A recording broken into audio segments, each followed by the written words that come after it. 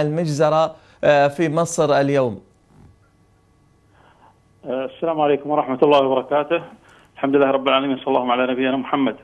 لا شك أن اليوم ما حصل هو يأتي في إطار أو في سياق ما حصل في الثالث من هذا الشهر بهذا الانقلاب العسكري على إرادة الشعب المصري وهو أمر مستنكر وليس مستبعدا من هؤلاء العسكر. ونحب أن نؤكد هنا بأن هذه المجازر هي نتيجة قيام الثورة المضادة التي قامت في مصر الآن للقضاء على الثورة ثورة الشعب المصري على الظلم والاستبداد وعلى نظام مبارك. وليس الهدف أيضا فقط ثورة الشعب المصري إنما الهدف النهائي هو إرجاع الربيع العربي أو إنهاء الربيع العربي. وهذا أخطر ما في الأمر. ردة فعل الشارع العربي تجاه ما يجري في مصر هل هي ضمن المستوى المأمول؟ وإلا فلماذا برأيكم؟ أعطيك مثل مثلا مثلا في الكويت. الآن نحن في انتخابات برلمانية ومع هذا أغلب الشعب الكويتي يتابع الآن ما يحصل في مصر. وهذا دليل على مدى الغضب الواسع في العالم العربي. والأمة لن تسكت بل ستقف مع الشعب المصري وما ستقف ضد هذا العدوان الظالم ضد هذا الانقلاب الذي كشف بكل وضوح تورط الغرب وتورط أمريكا في دعم هذا الانقلاب بغض النظر أو بغض الطرف عن إدانته لأن مثل هذه المجازر حصلت وحتى الانقلاب إلى الآن لم يؤكدوا بأنه انقلاب وحصلت هذه المجازر ومع هذا لم يدينوا هذه المجازر إنما يدعون إلى ضبط النفس اي نفس هذه تضبط والناس يذبحون في الشوارع. الحكومة الأمة والشعوب الشعوب العربية مع مصر مع الشعب المصري بلا شك. نعم. الحكومة الكويتية كانت من أوائل من قدم مساعدة للنظام الانقلابي الجديد في مصر. طبعا يعني هذا هذا الموقف من الحكومة الكويتية لا يمثل الحكومة الكويتية فقط. لا يمثل الشعب الكويتي وهذا يأتي أيضا في سياق ما قدمته الإمارات الحكومة الإماراتية والحكومة السعودية لمساعد مساعدات لهذا الانقلاب.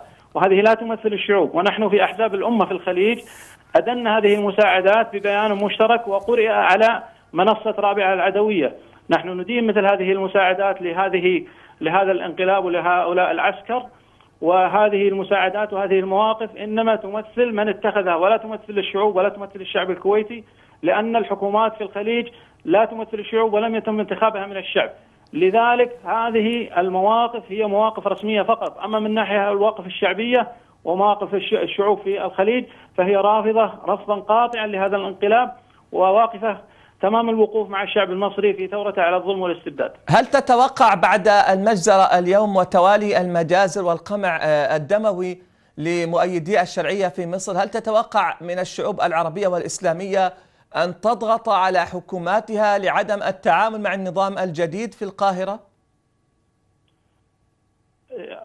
هو بلا شك أن الشعوب العربية ستضغط على حكوماتها لكن يجب أن نعلم بأن هذه الحكومات لا تنظر لرأي الشعوب أبدا إنما تنظر لمن هم وراءهم. الغرب الذي أقام هذه الأنظمة منذ اتفاقية سايكس بيكو فهم من أقاموها وهم من حموها فلذلك نظرتهم وأعينهم إلى هذه إلى هذا النظام الدولي الذي يحكم الوطن العربي منذ سايكس بيكو.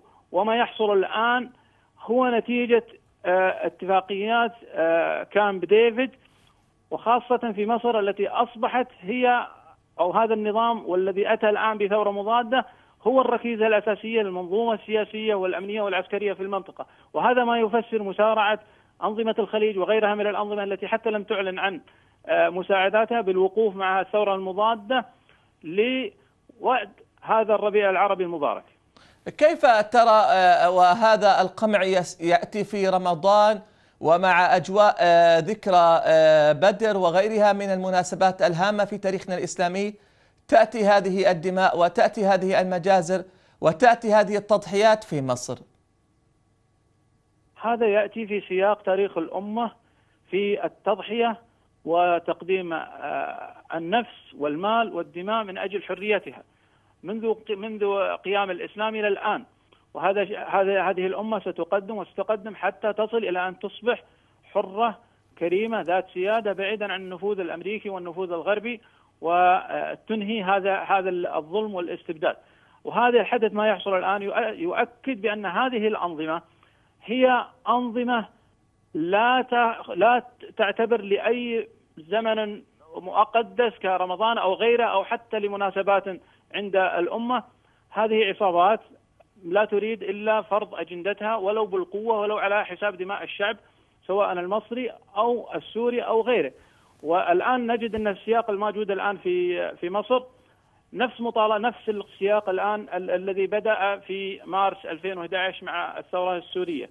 هذه الأنظمة انطلقت من غرفة واحدة ومن بوتقة واحدة وسياقها واحد ولن تلتفت إلى هذه الشعوب ولذلك نحن نقف مع الشعب المصري في جهاده السلمي حتى يستعيد حريته وكرامته. فإن أشكرك جدا الشيخ سيف الهاجري أمين عام حزب الأمة الكويتي. نعم إذا